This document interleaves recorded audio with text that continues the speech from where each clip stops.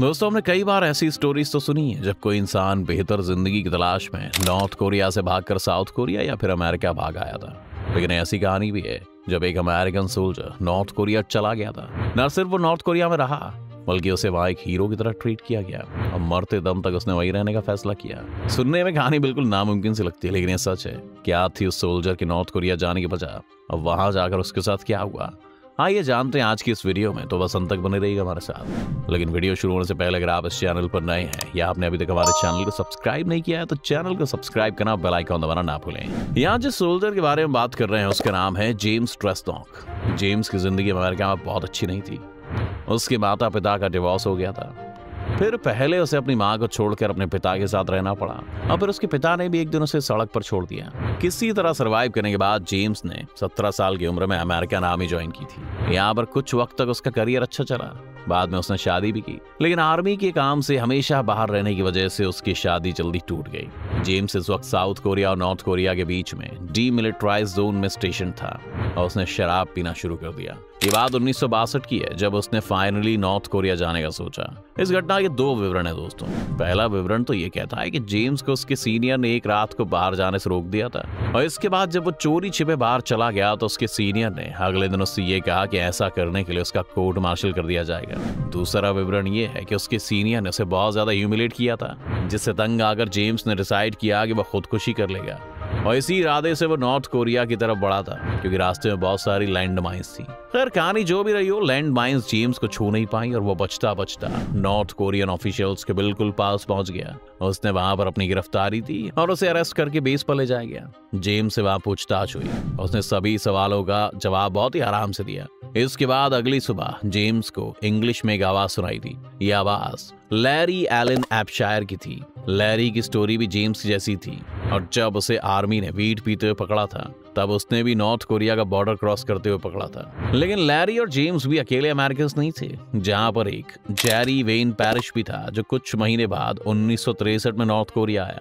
उन्नीस में Charles Robert Jenkins नाम का एक और आर्मी ऑफिसर नॉर्थ कोरिया आया नॉर्थ कोरिया ने अनाउंस किया था कि जो भी अमेरिकन सोल्जर अपने साथ इंफॉर्मेशन या वेपन लेकर आएगा, उसे नॉर्थ कोरिया में रिवॉर्ड किया जाएगा। जेमकिंस अपने साथ एक एम फोर्टीन राइफल भी लाया था और एक बड़े से क्राउड ने उसका स्वागत किया था।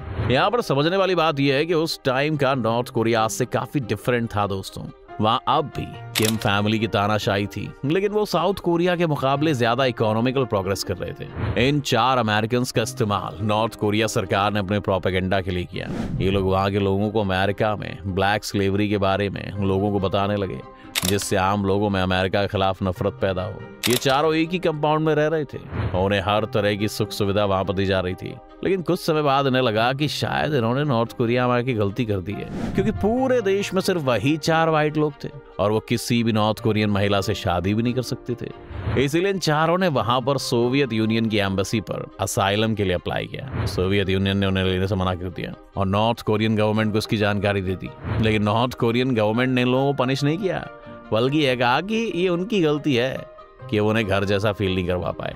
इसलिए अब वो उन्हें कोरियन भाषा सिखाएँगे ताकि वो आम लोगों के साथ खुल मिल सके। सभी ने कोरियन भाषा सीखी और फिर उन्हें खुले आम घूमने दिया जाने लगा। उन्नीस सौ बहत्तर तक चारों को ही नॉर्थ कोरियन सिटीजनशिप भी दे दी गई। किम सेकेंड संग के बेटे किम जोंग टू अभी तक डिक्टेटर नहीं बने थे। और उनका एक शौक फ़िल्म मेकिंग भी था। इसलिए उन्होंने फिल्म्स बनाने का सोचा। ये फिल्म्स एक तरह से नॉर्थ कोरियन प्रोपेगेंडा ही था। लेकिन उनमें अमेरिका को विलन दिखाना था, जिस वजह से उन्हें अमेरिकन फेसेस की ज़रूरत थी। इन चारों लोगों को फिल्म्स में रोल मिलने लगे। 1978 में अनसंग हीरोज के नाम से उन्होंने एक 20 एपिसोड का शो शूट किया, जिसमें जेम्स को आर्थर नाम के कैरेक्टर का रोल मिला। इस रोल ने जेम्स को वहाँ पर इतना ज़्यादा पॉपुलर बना दिया कि वो रातों रात एक स्टार बन गया, जहाँ भी जाता लोग उसे घेर लेते थे। इसके बाद 1980 के दशक में वो प्योंगयांग की यूनिवर्सिटी में इंग्लिश भी पढ़ाने लगा, जो कि वहाँ के लोगों के लिए भी काफ़ी ज़रूरी था। एक दिन जब जेम्स एक रेस्टोरेंट में था तो उसे वहाँ पर एक यूरोपियन महिला दिखी जिसका नाम था दोयना बम्बिया जेम्स और दोयना के बीच में बातें शुरू हुई।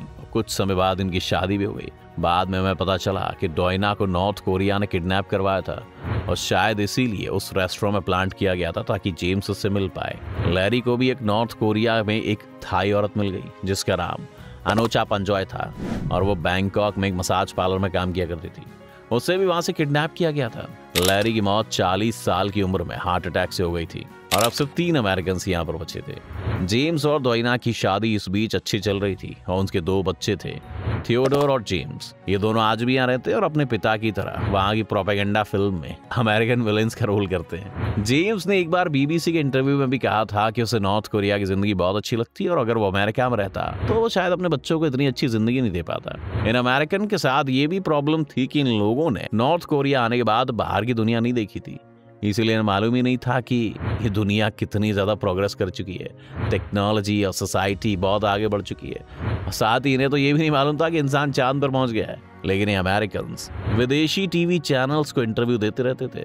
जिस वजह से हमें इनकी ज़िंदगी के बारे में पता चलता रहता है। जेम्स की जब पहली पत्नी की मौत हुई तो उसी रेस्टोरेंट में वो अपनी अगली बीवी से भी मिला। अब ये कहना मुश्किल है कि इन सभी लोगों को पता था या नहीं, कि औरतें किडनैप्ड है या नहीं, क्योंकि ऐसा लगता है कि एक ओपन सीक्रेट तो रहा होगा। इस बीच में उन्नीस में चेरी वेन पैरिश की भी मौत हो गई थी, और अब नॉर्थ कोरिया में सिर्फ़ दो अमेरिकन बचे थे, जेम्स और चार्ल्स जेनकिंस जहाँ जेम्स को नॉर्थ कोरियन लाइफ पसंद थी, वहीं जेनकिंस को हमेशा से ही वहाँ पर एक प्रिजनर जैसी फीलिंग आती थी। और उसे वापस अमेरिका जाना था। 1980 में जेनकिंस ने भी 40 साल की उम्र में एक 21 साल की जापानीज लड़की से शादी कर ली थी। ये लड़की हिटोमी सागा थी। और आप समझ ही गए होंगे कि इसे भी किडनैप किया गया था। लेकिन जेनकिंस और हिटोमी दोनों को ही नॉर्थ कोरिया में रहना पसंद नहीं था। 2002 में हिटोरी ने नॉर्थ कोरियन गवर्नमेंट से रिक्वेस्ट की कि कुछ दिनों के लिए जापान भेज दिया जाए उसे।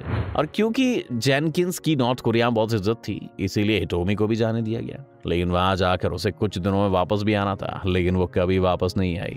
2004 में जापानीज गवर्नमेंट ने डिप्लोमेटिक चैनल्स को यूज़ किया और जेनकिंस को भी वो जापान लाने में कामयाब रहे। चार्ल्स जेनकिन ने जापान आकर अपनी autobiography to tell the truth लिखी। और उसमें भी उन्होंने अपनी और बाकी अमेरिकन की ज़िंदगी के बारे में वहाँ पर कई खुलासे किए। इसमें नॉर्थ कोरिया के बारे में बहुत सी निगेटिव बातें थी। लेकिन जब भी जेम्स से कोई फॉरेन जर्नलिस्ट इन पर सवाल करता था तो वो जेनकिंस को झूठा ही बताते थे। जबकि जेनकिंस का ये कहना था कि जेम्स पूरी तरह से नॉर्थ कोरिया के प्रोपेगेंडा में फंसा हुआ है और वहाँ की सरकार उसे यूज़ कर रही है। खैर जेम्स ड्रेसनॉप की मौत 2016 में चौहत्तर साल की उम्र में हो गई थी। और जैसा कि हमने पहले बताया कि जेम्स की फैमिली अभी भी नॉर्थ कोरिया में ही रहती है। चार्ल्स जेनकिंस की बात करें तो 2008 में उसे जापानीज सिटीजनशिप दे दी गई थी और 2017 में जेनकिंस की भी मौत हो गई। इस स्टोरी को सुनने के बाद बहुत से लोग आज भी डिबेट करते हैं कि क्या जेम्स का फैसला गलत था, जो ज़िंदगी उसे कभी अमेरिका में नहीं मिली। अगर उससे बेहतर ज़िंदगी वो नॉर्थ कोरिया में जी रहा था तो क्या उसके लिए अच्छी बात नहीं थी? हमें क्यों उसे एक विलन की तरह देखना है? वहीं कुछ लोग ये कहते हैं कि क्योंकि जेम्स जो ज़िंदगी वहाँ जी रहा था, वो नॉर्थ कोरिया के सिटीजन पर जुल्म करने वाली सरकार उसे प्रोवाइड कर रही थी। इसलिए जेम्स को एक पॉजिटिव लाइट में पेंट नहीं किया जा सकता। आपको क्या लगता है, क्या जेम्स का नॉर्थ कोरिया के सरकार के साथ देना गलत था या सही? कमेंट्स में ज़रूर लिखें दोस्तों। उम्मीद है आपको आज की वीडियो से काफ़ी कुछ नया सीखने को मिला होगा। अगर आपको वीडियो पसंद आई तो वीडियो को लाइक करें और अगर आप इस चैनल पर नए हैं तो जाने से पहले से सब्सक्राइब करना भी ना भूलें।